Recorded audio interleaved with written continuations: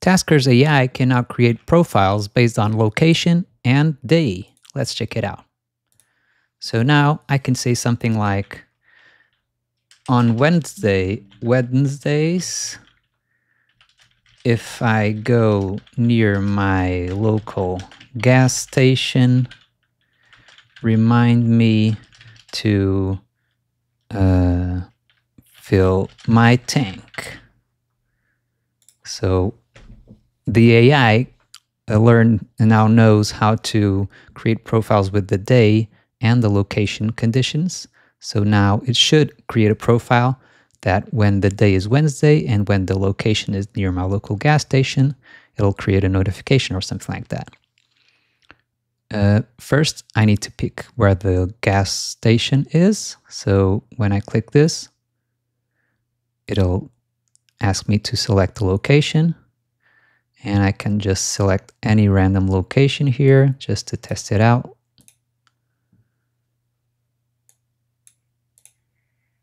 And then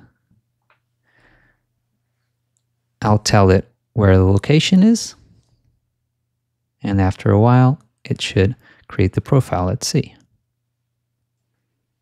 Okay, it created the profile. And now if I click import, I can click on yes, put it in my generated pro, uh, project and enable it.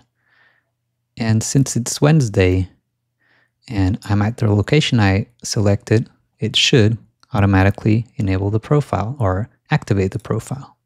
Let's see if it does. Location is being checked and remember to fill your tank. Okay, so it created a flash action. Maybe that's not what I wanted. I need a notification so I don't miss it. Okay, so it created a new project. Let's see if this one's better. A new profile, I should say. And yes, actions now create notifications.